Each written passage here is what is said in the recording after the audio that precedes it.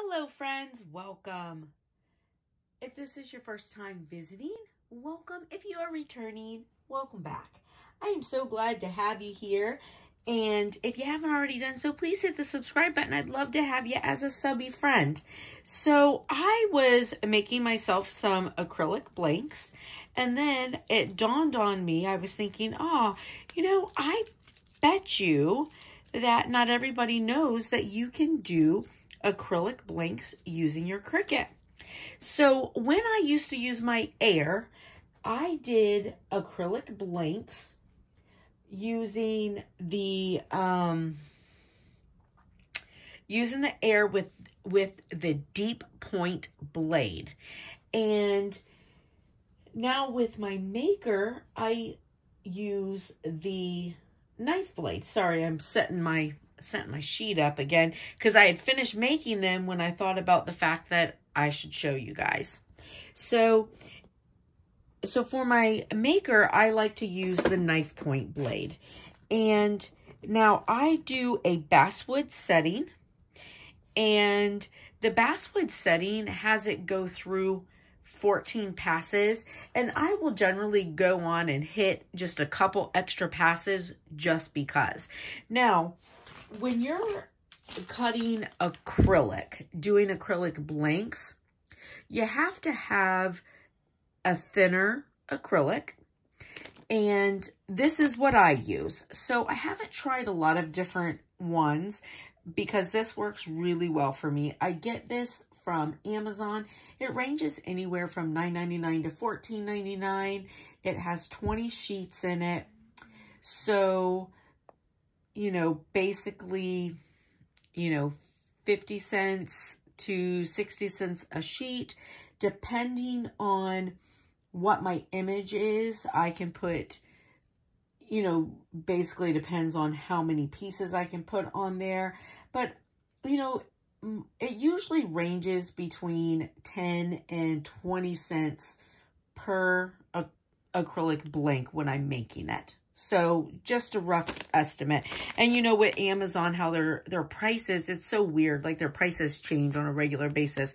But I'll go in and find this and I will attach it in case you're interested in it.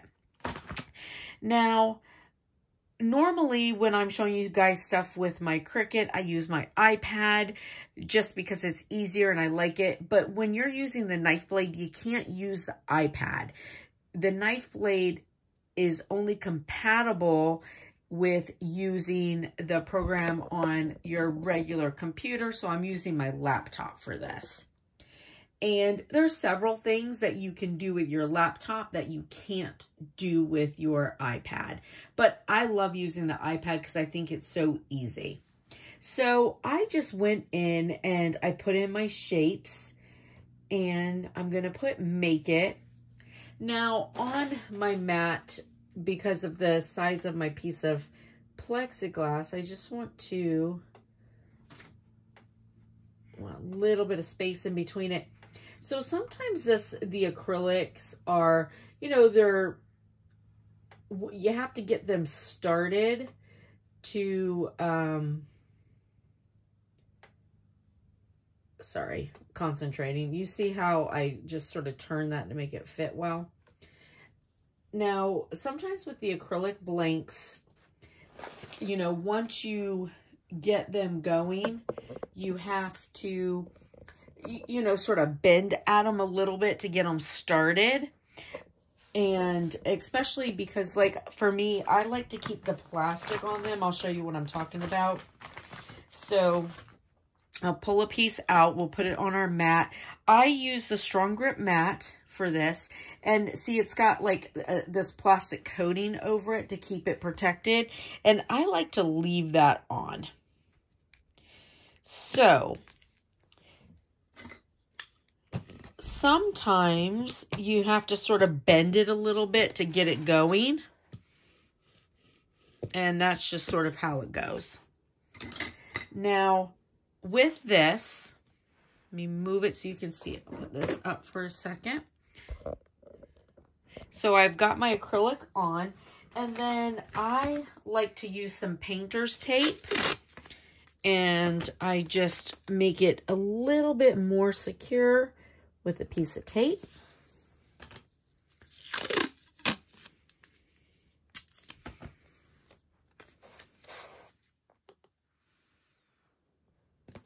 All right. And I've got my knife blade and my Cricut in the this rotator housing. All right. So I'm going to just put my mat over there. Now I am going to be going to basswood. And basswood passes for 14 times. And then I like to, like I said, I like to go in, hit it a couple more times just to make sure. All right. So I'm going to go. Now I'm going to put it on fast mode. And then once it's done, I'll hit it, you know, a couple extra times just for good measure. And then we'll take it out and I'll show you what I mean about, you know, how you have to sometimes sort of get it going to get your piece off, okay?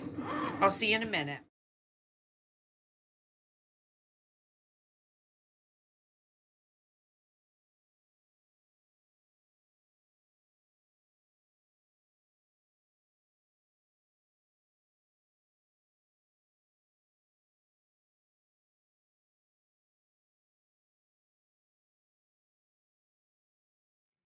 All right, so I only ended up doing two extra passes. We'll see how they come off. I'll take the tape off.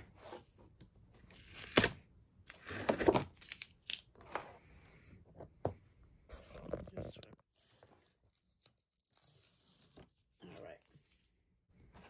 This up. Now, what I mean by sometimes you have to get it started. So for me, like I kind of like bend it a little bit around because it doesn't it doesn't just pop right out. But once you get it started, it comes out just fine.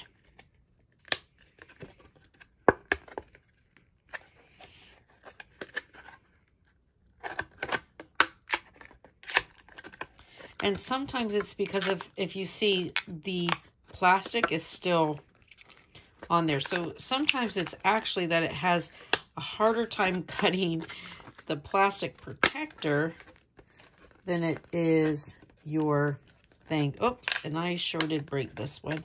It's hard to do it and show you at the same time.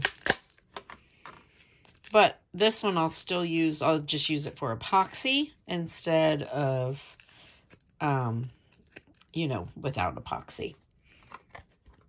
Okay. So sorry. Sometimes it's really hard to like show stuff because of how I have to be with the computer with the camera. All right. So so like I said, these just you kind of have to work them a little bit.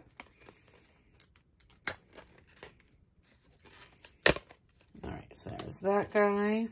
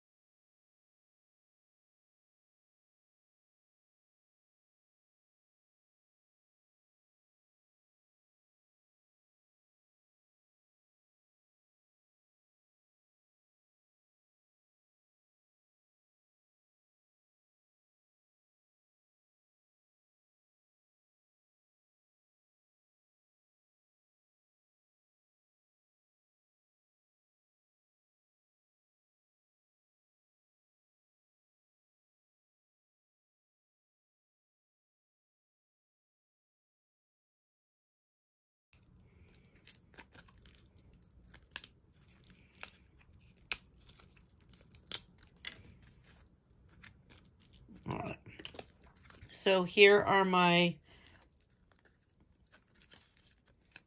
final blanks. And then this one I cracked a little bit right there. No big deal though, I can still use it. So yeah, so they really are not hard to do. I know it looks like it might be challenging to get them out, but it really isn't that big of a deal at all.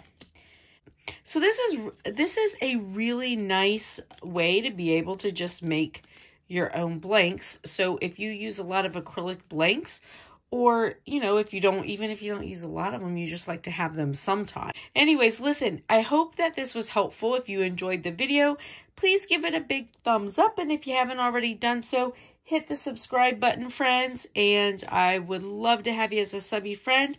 Have a blessed and beautiful day. And tomorrow's New Year's Eve, so be safe. See you later. Bye.